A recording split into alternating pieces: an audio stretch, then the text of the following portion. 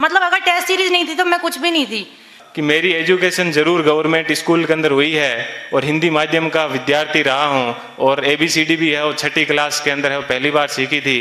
लेकिन मैंने उन विद्यार्थियों को चुनौती पेश की थी और उन चुनौती को मैंने हर जगह पर है, उसको प्रमाणित भी किया है। मैंने मेरे जीवन की जो सबसे पहले शुरुआत की थी, वो पटवारी से की थी।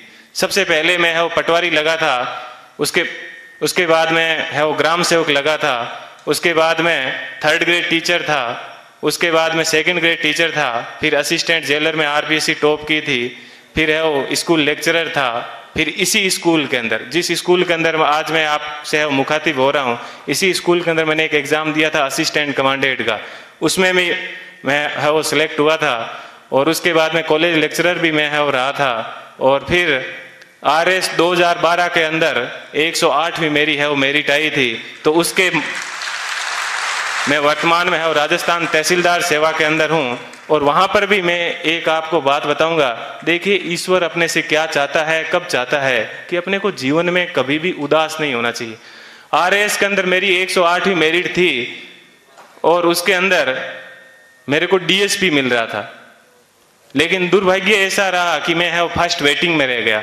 थोड़ा सा मुझे दुख हुआ कि यार अपन फ़र्स्ट वेटिंग में रह गए और उसके जस्ट एक महीने के बाद में है वो आई का एग्ज़ाम था दिसंबर के अंदर। चार पाँच दिन दुखी रहा, लेकिन मैंने कैसे ही अपने आप को मैनेज किया। और देखिए दोस्तों मैनेज करने का क्या बेनिफिट मिला कि जो डीएसपी बनना था, वो डी आगे से हट गया और मैं एसपी बन गया। बात यह है कि अपन जीवन के अंदर चाहते क्या है? अपन अपने आप को कितना डिवोट कर पाते हैं। तो आज मुझे है, वो आई के अंदर एक सौ मेरिट है, वो मिली और मैं जनरल कैटेगरी से है, वो बिलोंग करता हूँ तो मुझे आईपीएस मिला। मैं यहाँ पर रुका नहीं हूँ। मैं वापस तैयारी कर रहा हूँ और इस बार मुझे आशा है कि हिंदी माध्यम के अंदर आई में किसी की अभी तक फ़र्स्ट मेरिट नहीं आई है और मेरी ये पूरी की तमन्ना है कि कम से कम मैं यहाँ उस स्थान तक है, वो पहुँचूँ।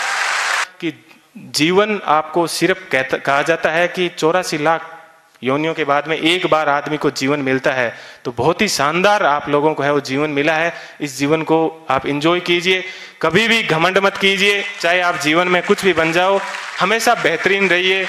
और आप लोगों से मैं आशा करता हूँ कि अगले साल जब प्रोग्राम होगा तो आप सब लोग हैं, वो यहाँ पर आने का मौका मिले। थोड़ी सी देर पहले मैं देख रहा था कि मालाएँ कम पड़ रही थी। तो अगले साल इतनी संख्या माना कि सब मालाएँ कम पड़ जाए।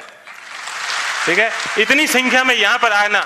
और तब इनको है और रियल खुशी होगी इस कोचिंग संस्थान को। पुनः मैं एक बार इस कोचिंग संस्थान को बहुत बहुत धन्यवाद देता हूँ। हमेशा दिमाग में एक बात ध्यान रखिएगा कि मुझे किसी मैगजीन के कवर पेज पे आना है। मुझे भी जीवन में उसी दिन खुशी हुई कि इस बार जब पीडी के ऊपर, सब जगह पर मुझे कवर पेज के ऊपर है वो जगह मिली। ऐसी चीज़ हमेशा ध्यान रखना कि मुझे क्रॉनिकल पीडी सब जगह कवर पेज पे मिला और आज क्रॉनिकल पे प्रेम सुख डेलू के नाम से या यूट्यूब के ऊपर अनेक वीडियो चलते हैं तो मुझे बेहद खुशी होती है। आप भी अपने जीवन में ऐसे टारगेट रखना और हमेशा युवाओं को है वो प्रेरणा देते रहना। कभी सिलेक्शन होने के बाद में ये मत कहना कि ये एग्ज़ाम बड़ा हार्ड है। हमेशा ये कहना बहुत ईजी है। और यदि मैं कर सकता हूँ तो आप भी ये एग्ज़ाम है वो कर सकते हो।